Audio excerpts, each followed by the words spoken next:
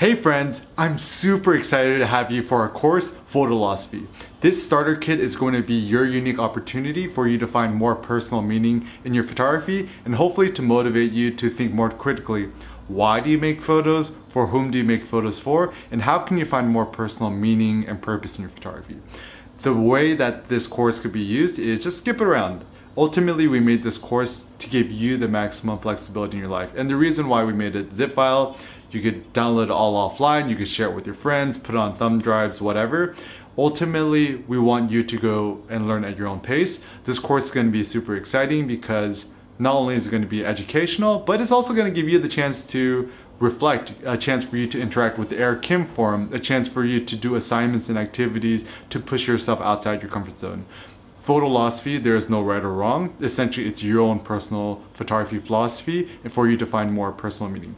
And the way this is this course is organized, there's going to be all these direct links for you to download different course content, extract the zip files, check out the, the different documents to kind of guide you through the courses. There's going to be lots of PDFs, there's going to be lots of different links and different documents to inspire you.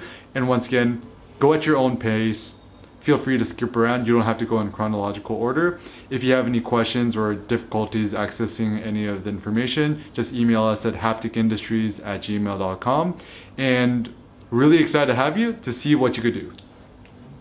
Hey friends, so what is photolosophy and why is it important? So essentially photolosophy is a word that we made up which stands for photography philosophy. And the purpose of photolosophy is for you to find more purpose and meaning in your photography. And everything I'm sharing about this course is based on my personal experiences. So I used to be stuck in what they call the social media rat race. The idea is you go out and you're trying to make a really good photo, you rush home, you process it, you upload it to Facebook or Instagram or Flickr, and you try to get as many likes as possible. And I think when you're starting off, this is kind of a fun way to start off photography because you get feedback, people are giving you comments and likes and it feels good. The problem is, as time goes on into your photography, you start to get stuck into this rat race where it becomes more about accumulating followers and more likes, not making photos which are personally meaningful to you. And so one philosophical question I could ask you in the beginning of this course is, if you didn't have Facebook or Instagram to share your photos, would you still make photos? What kind of photos would you make? Who would you share with? How could you share your photos? And what kind of ultimate meaning does photography give you? One thing I like to do is consider myself 90 years old and on my deathbed and looking back at the last few decades of my photography and asking myself, am I happy? Am I proud? Am I fulfilled with the photos that I made? Because, spoiler alert, we're all gonna die. Knowing that we're going to die, how can we use this as a focus to help us make photos which are meaningful to us. So for myself, I study sociology in school, and the reason why I make photos and my photolosophy is I make photos to give some sort of social critique, so some sort of social commentary, or to present my version of the world with others. I studied sociology, and so for me, photography and street photography is visual sociology. Photography is a way for me to better understand other people, and also it's a way for me to understand myself. So even one thing I like to do in my photography is photograph my loved ones because photographing my loved ones is a reminder that they're gonna die and I'm gonna die, but I wanna be grateful of my life while I'm still alive. And in so some ways, photography is a meditation on life and death. When you're alive, showing your gratitude towards life and living by making photos which bring you joy and could bring other people joy, but also meditation on death that after you make photos of people, they're gonna die and eventually you're gonna die. So once again, photolosophy is your own personal philosophy for finding more contentment in your life. And there's certain cultural values that I wanna share like frugality, uh, being economical, making photos that are more focused on yourself and not impressing other people. And also for us to be like children to have a childlike sense of place, to find more focus through Zen minimalism, for us to conquer our fears in photography through Stoicism. So this course is going to wrap up all these different concepts and help empower you throughout the course. Alright friends, so in this video I want to share with you a little bit about social dynamics and photography, street photography, and how to build your confidence as a photographer. I think one of the best things about photography and street photography is your unique opportunity to interact with real humans. So I think in today's world, the norm is to be antisocial. We go to the gym, we put on headphones, you don't make eye contact with people, and actually it's very alienating, and I think that's actually what causes a lot of depression. You know, it's pretty obvious that the more we interact with other people, especially people we're interested in, people we care about, people we love, even strangers, the happier we are. And so even one thing I've been doing is I've been working out at this park gym and I just talk to strangers and even one thing I've been doing is I've been bringing along my GoPro, recording strangers, talking with them, interacting with them. So realize that photography and street photography is your tool, it's your passport into other people's lives. The more you interact with people, the better. And for the longest time in street photography, I made the mistake of thinking of people as just photo objects, meaning I'd go out into the streets and just find weird or interesting looking people and just photograph them and upload them to Instagram or Facebook and get a bunch of likes. But now I'm starting to realize photography is probably the best way to humanize strangers, to humanize other people. So rather than seeing people as weird or different, using photography as a tool to bring you closer to other people. And also with ethics in photography, I personally like to follow what I like to call the silver rule of photography, which is don't photograph others as you don't want others to photograph you. So for example, there's a big tricky thing about photographing homeless people. So if I were homeless, I wouldn't want a photographer like sniping me from behind a bush with a huge zoom lens and treating me like an animal. I would prefer that the photographer would come to me and say, hey, you know, you know, what's your life story? You know, and then actually interact and engage with me. And then if they ask, oh, can I photograph you? They'll be like, oh, I'd be totally cool with it. Or if they were to photograph me looking homeless and destitute, I'd want them not to show my face. So of course, everyone's stance of ethics and morals in photography is different. And you shouldn't let other people superimpose their ethics and morals onto you because ultimately, there is no 100% correct form of ethics. All ethics must be formulated by you and defined by you. And I think even the silver rule isn't perfect because there's always different circumstances. So basically what I would recommend is if you want to be more confident as a photographer photographing other people, be more comfortable being photographed yourself. So a lot of us as photographers, this is a little bit weird, we don't like to be photographed ourselves. And I think a lot of that stems from the sense that we're we don't kind of like the way we look or we don't like the way we look in photographs. So some of us, we might be older, some of us might have a little bit more you know, fat on our faces or we, we have certain scars on our faces or we, there's certain angles we don't like.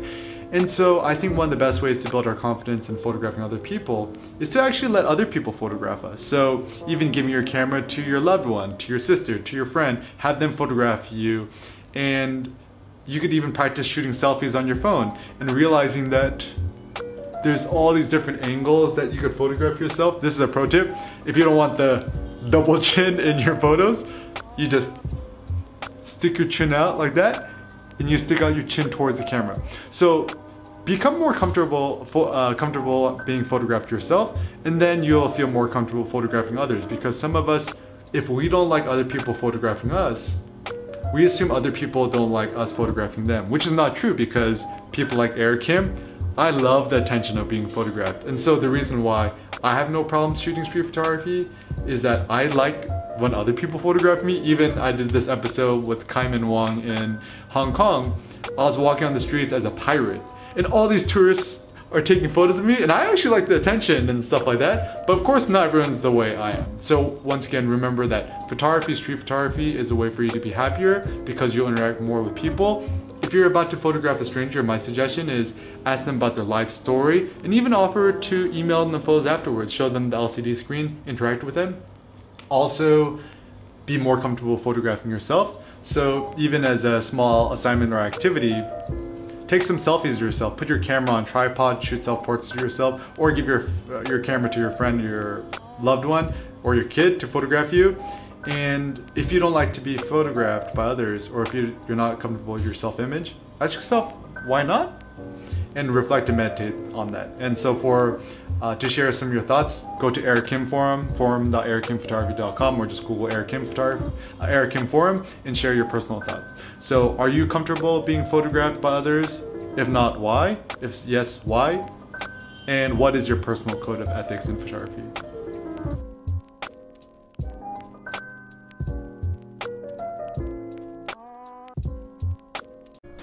When you're photographing beauty in the mundane, realize that there's so much beauty all around you regardless of where you are. So for example, you could even find beauty at home. So photographing your loved ones, you could photograph your kids, you could photograph yourself, shoot selfies of yourself in the in the mirror. What you could also do is you could photograph your own bedroom, you could photograph your own living room. If you're by the window and there's a nice stream of light, just photograph that. There's so many beautiful things all around you that you can photograph. Even the beautiful thing about street photography is that shooting street photography isn't always about finding the weirdest looking people out there.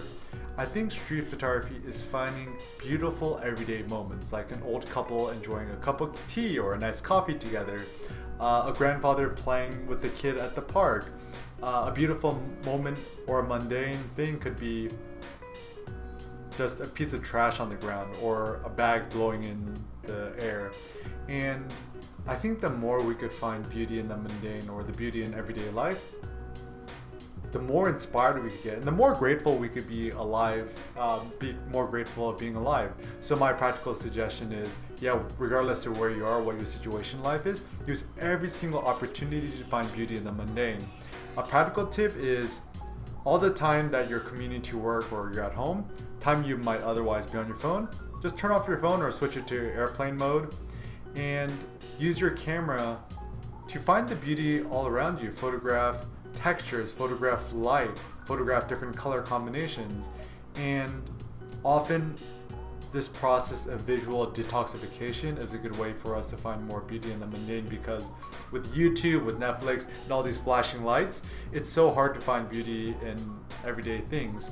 Look at children, see how they touch a tree for the first time, how they can see the wrinkles in their grandfather's forehead, or even use beauty in the mundane as a way for you to respark your childlike curiosity of the world. So once again, friends, realize that beauty in the mundane, beauty is all around you. It's just your choice to find it. So friends, one of the things we want to share with you in photolosophy is this. Make photos as a form of visual therapy and art therapy for yourself. So for example, I think one of the best ways to be happier in life is actually to make more stuff. I don't think happiness is actually a good definition for what we're trying to achieve. I think what we're trying to do is we're trying to spark more joy in our lives. And joy is this kind of exuberant, uplifting feeling, a feeling of power and control that we get that we could create our own destiny in life. So the reason I think photography is so powerful is that when we're in the creative zone or the flow of making photos, we're being challenged, we're being excited, we're making something. And photography is such a joyful process in everything from the making photos because when you're actually out on the streets making photos you're talking to strangers you're moving around you're seeing new things and so for me street photography is a way to interact with the world then when you go home, you're looking through your photos and you're deciding which photos to keep and which photos to ditch and how, also how to sequence to edit your photos. That's also a lot of fun too and also the way you might process your photos. If you shoot film photography, it's also fun to get your photos processed and using the Zen meditation of processing your photos. And also at the very end, there's joy in sharing your photos with other people. So realize that photography is this whole holistic process of finding more joy and happiness in the world. Also, I feel with photography, it gives us a chance to go out and interact with the world. A lot of us are kind of sad and miserable because we just stay at home all day, we're watching Netflix, we're just mindlessly scrolling through Facebook or Instagram. We're the happiest when we're actually actively creating. So one thing I would recommend for you to think about is if you want to be happy in life, make more stuff, make more photos, make more art, and share more things with other people the more you could create, the better. And don't just limit yourself to photography. Think of yourself as a visual artist. You can make paintings, you can make photographs, you can make sculptures, you can make anything, you can make videos, and you can even make poetry and other forms of art. So once again, remember that photography is not limited to just your uh, your camera. You could also use your phone to make photos. So even going on a little street walk or street hunt, going out and making photos with your phone and essentially make photos of things which spark joy into your heart. So once again, remember that photography isn't just taking, snapping photos to upload to social media. It's rather a way for you to create more sort of joy and meaning in your photography.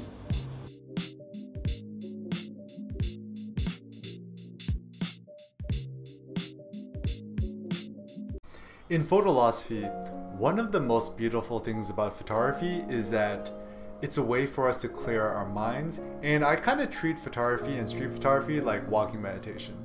So the basic concept of walking meditation is Zen is this. Just by walking, it helps clear your mind, it helps you come up with new ideas, it relieves stress. And I think street photography is essentially walking meditation is you have a hopefully a small camera around your back and around your neck or around your wrist. And what you're trying to do in street photography is essentially clear your mind and find all this beauty and joy all around you. And one of the practical suggestions I would give you in street photography is never expect to go out and make good photos. So, what that means is a lot of the times before I'd go out and shoot street photography, I'd be like, oh, I really, really want to get a good photo. It's like, oh, you're just running around trying to make good photos. And the irony is that the harder you try to make good photos, the less likely you're actually to make good photos. Whereas if you just have your camera on your neck or around your wrist and you're just going for a walk, you kind of let the photos come to you. And sometimes when you least expect it, interesting things happen to you. So I'd practically recommend you to always have your camera on your neck, around your wrist, like a bracelet or a necklace. And don't expect anything, but be perceptive to everything that happens for you. So when you go out on the street photography walk or walking meditation with your camera, don't use headphones, don't look at your phone. Either turn off your phone or if you shoot with your phone, switch it to airplane mode and use it as a way for you to just stop, walk 25% slower than you normally do, and whenever you see something that makes you interested or makes you happy, just smile and actually practice touching the textures or touch whatever you're going to photograph before you photograph it. So even if you found an interesting texture of a tree, touch the bark before photographing it and look at it and smile. And even when you're out shooting street photography, depending on your mood, sometimes you could talk with people interact with them, sometimes you could shoot candidly.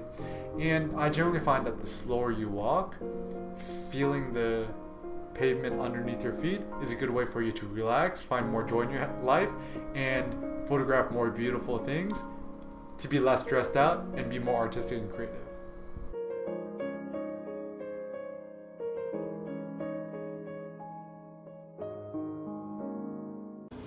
Alright friends, so in this video I want to share with you the basic concept that everything is editable. As a photographer, you're constantly changing, you're constantly evolving, you're constantly in a state of flux. I think one of the things that actually for me is very intimidating as a photographer is a lot of us who are seeking deeper meaning in our photography or seeking more fame or recognition, whatever, we think the goal is to make this amazing photography book that'll last forever. Now, I think with digital photography and the internet, it's really awesome because everything after you publish it, you could kind of edit it afterwards.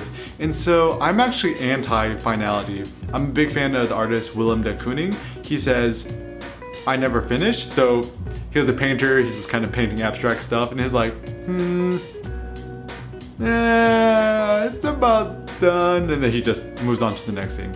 And I also think the same thing is with photography projects is that with the internet and with digital portfolios, you could constantly add to photo projects, remove from photo projects. You could move around the photos and you could work on a project as long or short as you want and realize that as a photographer, your taste, your forms, your way of thinking is gonna change. So for example, don't think that you have to be a black and white photographer for your entire life. You could switch, you could evolve to shooting color photography. Maybe you could start shooting with a phone. You could shoot 35 millimeter film. You could shoot medium format film. You could shoot large format film. You could shoot black and white film, color film. There's so many different ways you could change and evolve your working process as a photographer. Also realize that as a photographer, we're the happiest when we're active. So even one thing I've been liking to do is when I'm bored or I'm just kind of trying to relax in the evenings before I sleep, don't just, you know, zone out and watch Netflix. I actually keep all my photos synced on Dropbox. So I have Dropbox Pro. I pay about 10 bucks a month for a terabyte storage. I'm starting to look back at my old photos all the way from 2014, about four years ago, and finding more joy, like reliving my old photographs. And it's, it's actually kind of good because some of the photos that I thought were really good four years ago, now I'm like, eh, I don't think they're that good. But there's actually some photos that I thought four years ago weren't that good. Now I look at them with fresh new eyes. I actually appreciate them more and I realize there's a lot of joy in it. So I would also recommend you as a practical sense, barbell your photography that you're always making new photos, but also use some time to review your old photos from several years back and treat your own photography website and your own photography blog as your own personal playground to just upload new photos, delete old photos, and just kind of keep things in a state of flux. So remember, photography, art, everything is editable. Even if you're a writer, you blog about something, if you did a typo or something, you go back and you could edit it, you could change it. So don't feel so pressured that your photography needs to be perfect. Even if you're using Facebook or social media or Instagram, you upload photos. If later you don't really like the photo, you can always go back and delete it or remove it or re-upload it. So once again, remember that you're uh, in a state of flux as a photographer. Don't let finality or this concept you need to be perfect hold you back. My suggestion is get it 80% good enough, hit publish, know that you can always go back and edit it later.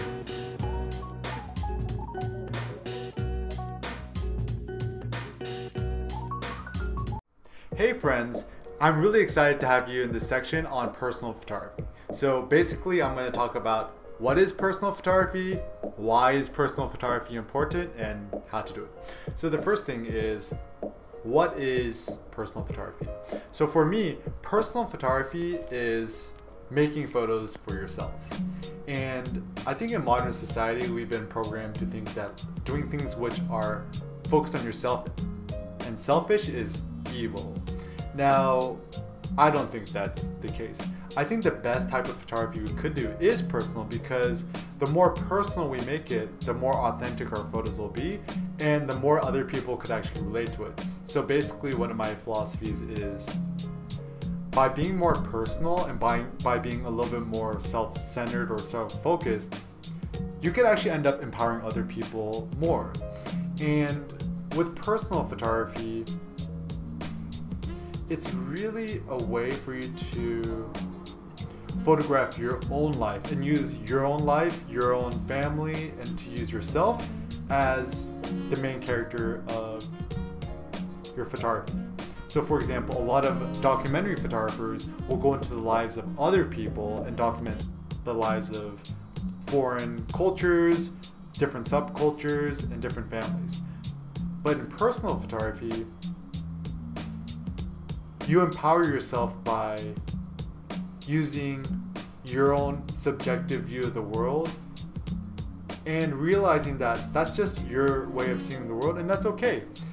I think a lot of times photographers try to make more objective views of reality through photojournalism and reportage photography, but all photography is eventually subjective because you are the lens in which you filter the world. You you decide what's significant and you decide what's not significant. So personal photography is all it's all about making your photography as personal and as subjective as possible. Now, why is personal photography such a powerful concept? For me, personal photography is so powerful because regardless of how busy you are, regardless of what your job is, where you live, etc., you can make good photos and you could create a photography project of your whole life. So think of your whole life and yourself as a photography project. A lot of times people are, okay, you know, I want to photograph boxers in Cuba or I want to photograph a local homeless shelter or I want to photograph a school. But the problem is that often our busy everyday lives keep us from doing it. So a practical way you can think about it, let's say you commute to work every single day. You just have your camera on your neck or on your wrist. You're photographing your commute. You're photographing selfies of yourself in the mirror. You're photographing your shadow. When you come home, you kiss your loved ones. You photograph your kid. You photograph your wife. You photograph your partner. And your whole photographic project could be a documentation of your own life. So you could do it anywhere, and once again, it gives you a more sense of gratitude of your life. How to do personal photography. It doesn't really matter what camera you have. You could just use your phone, you could use a, a Ricoh GR2 camera, a Fuji X100, whatever. The biggest, most important thing in personal photography is to use a camera that's as unobtrusive as possible and as easy to use as possible. So generally with my personal photography, I've shot a lot of it on a Ricoh GR version 2. I just shoot in program mode, shoot in RAW, and when I'm importing my photos into Lightroom, I just use free Eric Kim presets, which are included in the starter kit. What you want to do is reduce as much friction as possible from the photo making process and just photograph based on your gut. So don't worry so much about composition, of getting the perfect lighting, whatever. Anytime you instinctively see something that's personally meaningful to you or resonates within your heart and your soul, just photograph it. So there's really no right or wrong way to shoot personal photography.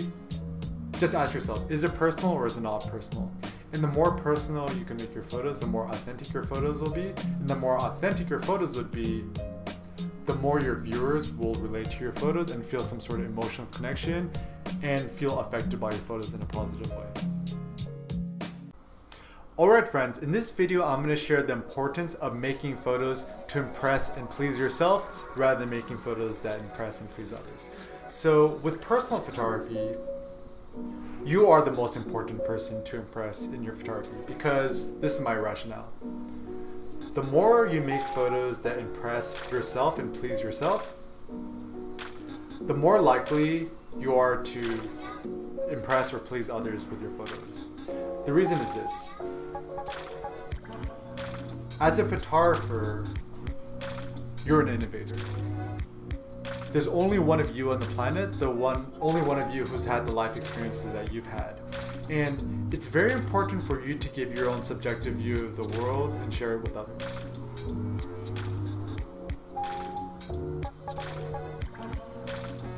Making photos that impress yourself is so important because especially in today's day with social media, we're always trying to impress other people. And what ends up happening is you crowdsource your self-esteem is that your self-esteem as a photographer or you feel like what your progress you're making in photography is contingent on how many likes your photos get. So I know for myself this actually happened a lot is that with Facebook, Instagram, and social media, I told myself I was making photos to impress myself, but I really wasn't because every time I uploaded a photo and it would get a lot of likes, I would feel super happy. But if I uploaded a photo and it didn't get as many likes as I expected, I would actually feel a little bit disappointed.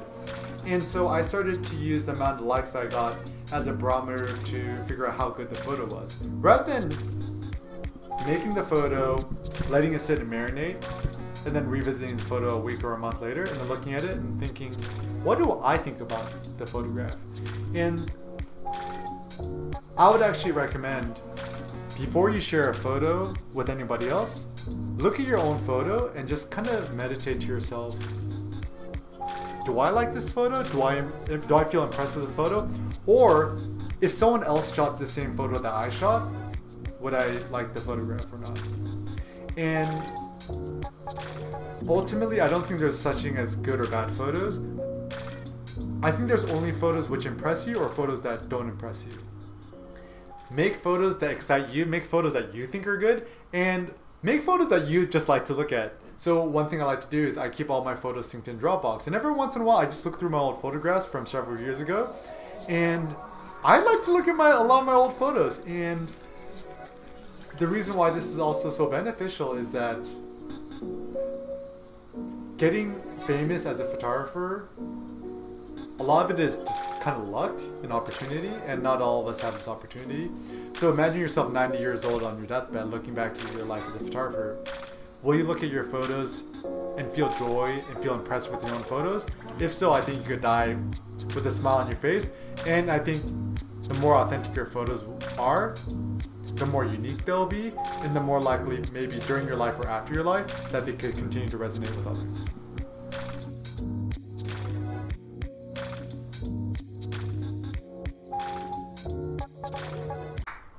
Hey friends, so this section we're going to talk a little bit about personal photography and what this means in the context of photo photolosophy. I think one of the th biggest things in photography, what we must do, is be grateful. So grateful so for many things. Grateful for being alive, grateful for having an interest in photography, grateful that we actually own a camera or a phone or something, and realizing that we should be so grateful for all the amazing digital technologies now that empower us photographers. Can you imagine if you're a photographer in the 1920s, you have black and white film that's like ISO 25, you're running around, you have to worry about processing your photos, and even if you're the world's most famous photographer, there's probably not more than 50 photographers in the world who actually know your work. But nowadays, with social media, with the internet, and everything, we can expose our photography to such a huge population. So realize that we should be grateful for all the opportunities we have to share our work. And I know that I personally got this a lot in my photography is that you feel like your camera is never good enough you feel that if you had a slightly better camera, you could capture better image quality and therefore your photos will look more beautiful and give you more aesthetic joy. And you also hope that other people will appreciate your, uh, your photos more. But the thing is this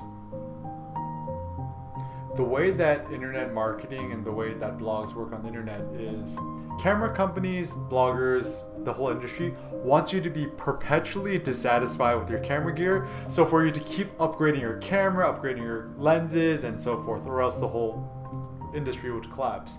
And in recognizing this, how can we use our cameras that we already own or use our, using our phones that we already own? That sure, we might not have the best, newest camera or model or lens or equipment, whatever, but how can we still make beautiful photos which bring us joy and bring us happiness in life? So, my first suggestion is realize that maybe your camera is 80% good enough, but that's okay. And rather using that as a tool to photograph what you're grateful for. So even as a basic photography project or a focus you could do is for an entire day, just photograph what you're grateful for. Photograph your cup of coffee, photograph your friends, your loved ones, your family, photograph a tree, photograph a little ladybug friend, photograph a flower, photograph the, the clouds. Anything that puts a smile on your face, every time you click the shutter and you're photographing something, you're essentially saying, I am grateful that you exist. Photography is the art of recognizing what we consider beautiful and what we're grateful for. And so use photography as a tool to have more gratitude in your life. And once again, going back to the whole photographic memento mori concept is photograph your loved ones while they're still alive because one day they will die. One of the biggest tips, uh, one of the biggest lessons I learned while grand, uh, photographing my grandfather's funeral, his death was it's very sad that my grandfather passed away and he died but I still have all my loved ones all around me that I could photograph. So use this using that as an opportunity for me to photograph more photos of my mom, more photos of Cindy, more photos of myself and Annette. And the more we could shoot with a grateful heart, the happier we'll be in life, and also the more productive we'll be as photographers. So, uh, once again, photograph your blessings in your life, upload to social media, use hashtag blessings or whatever, and use this as a chance for you to photograph what you're grateful of in your life. And an Eric Kim forum, so forum.ericKimphotography.com or just Google Eric Kim forum, upload photos which you're grateful for. Upload photos that you consider blessings in your life and photograph things that it might not be the most artistically innovative photo, but as long as it puts a smile on your face, it's a good photo.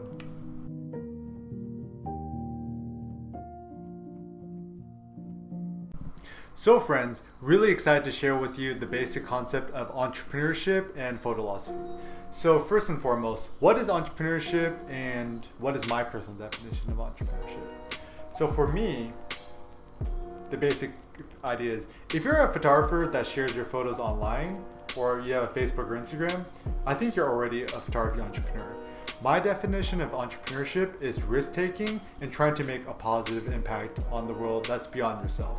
So, as a photography entrepreneur, you don't necessarily need to make money.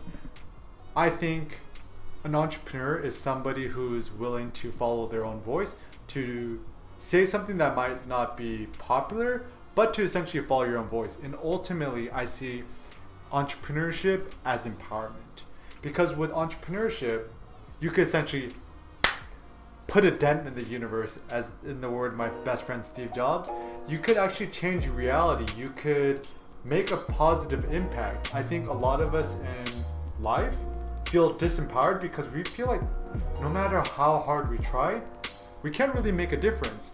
But do realize that you as a photographer, you do have the change, the power and the ability to change the world.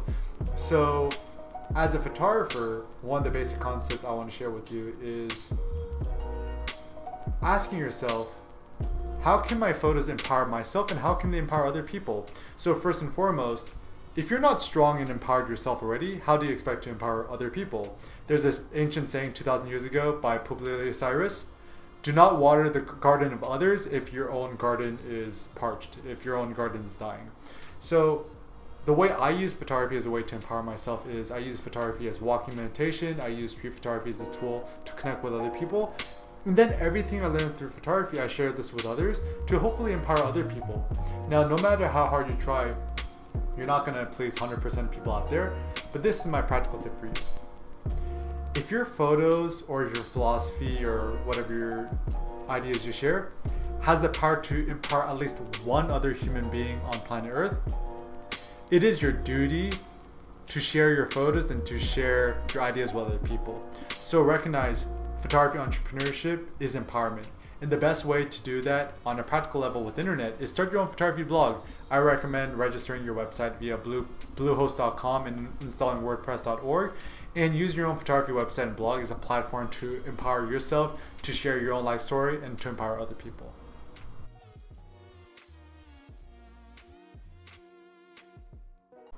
Hey friends, one concept I want to share with you in photolosophy and entrepreneurship is this.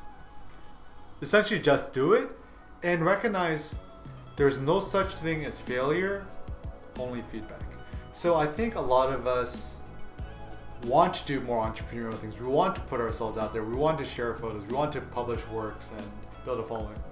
But we're afraid that other people might criticize us, might hate on us. We're afraid we might get trolled or we might be afraid that we might fail. But in the context of photography, and even assuming you already have a day job, or even if you're a photography, you're making money through photography, recognize you're not going to starve to death and you're not going to die. I think biologically we still have this fear mechanism, fear of death or starving to death, which holds us back from achieving our personal maximum in life. And my personal philosophy is this Recognize that there's no such thing as failure, only feedback. So that means this. Is let's say you work on a photography project for several years and you publish as a book. Let's say you don't sell any or you don't really make an impact. That's not necessarily failure, it's just feedback. The feedback is maybe other people aren't interested, but that's okay. Also realize that Vincent van Gogh, in his whole lifetime, he didn't sell a single painting. Now, does that make him any less successful than any other artist? I don't think so because now he's one of the most celebrated artists of all time. And he sells his, well, he's dead now, but his paintings sell for millions of dollars. So recognize that the truth is, as a photographer and as an entrepreneur, you might never achieve worldly success in terms of money, fame, power, influence during your lifetime. But that doesn't matter. It's still worth doing because even a lot of philosophers, a lot of poets, a lot of individuals, they dedicate their whole lives and during their lifetime they might not achieve success but it's for future generations of humanity that they do their work. So i would recommend for you don't be afraid of failure. If it interests you if you're passionate about it if you're enthusiastic about it just do it. And one of the practical tips i would give to you is as a photographer don't look at your social media numbers. And also, if you have a blog, disable your stats. I've disabled my stats the last five years, and it's the best thing I've done to innovate and do things which I'm interested in, but I know that other people might not be interested in because a lot of photographers and bloggers, they follow all their progress and stats, uh, statistics by page views, follower counts, and so forth, but ends up sullying your own creative ideas. So, for example, as a photography blogger, of course you do a camera review, you can get tons of page views. Or of course on Instagram, you Instagram a photo of your camera and a cappuccino and like a bunny in the background, you can get more likes. We all know this, right? But it's your duty as a photographer to never compromise your own artistic vision. And once again, as an entrepreneur, it's not about making money. It's about putting yourself out there and just doing it. So don't ask other people for permission or their approval or their feedback or opinion before you pursue a photography project. Just do it. Just go out and shoot it. And then let's say you collect 20 photos or so, and then sit down and ask people for feedback. Don't wait for permission before you attempt something. So remember, friend, you have the power in your own hands. Go out, shoot, just do it. Take that risk and have fun doing it.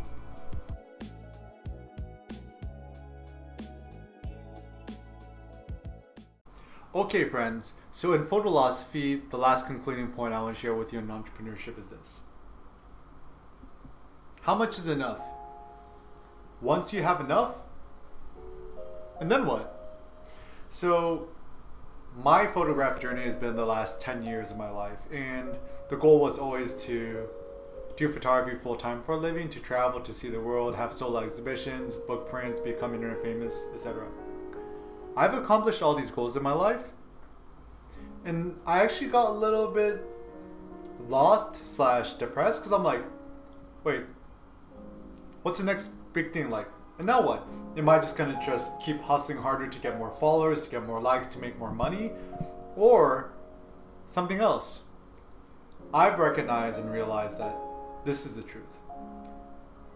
Even in the point, like a lot of photographers, they want to make a lot of money to get sponsored and have all these fancy new cameras, but it actually doesn't bring you joy. You're only getting joy when you're making new photography projects and you're innovating as a photographer. So for me,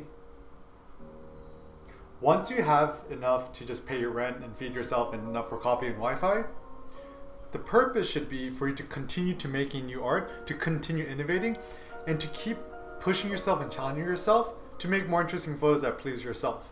So for example, I've been trying to evolve in my photography, my street photography, by doing more layers. And I'm doing this a lot by studying cinematography like Stanley Kubrick. I really love the way he creates layers and the, the way he's able to create visual complexity. And even one thing I've been doing for fun is I'm just using a Lumix G9 4K video still camera and I'm shooting video street photography, just these nice street scenes. And I'm trying to create visual storytelling in innovative new ways. I'm using a GoPro Fusion 360 camera to figure out new ways I could t- tell stories. Because honestly, at this point, I know I'm never going to starve to death. My needs are very meager, and I have enough money to probably retire in Vietnam until I die at age 90. So ask yourself, friends, what are your goals in photography and life? And let's say you accomplish all of them. What are you going to do for the rest of your life? I think the answer is to continue to make art. It's not to just keep making more money because when you're dead, you can't take the money with you.